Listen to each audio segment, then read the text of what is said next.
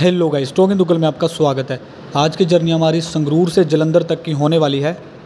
चलो, वीडियो को शुरू करते हैं।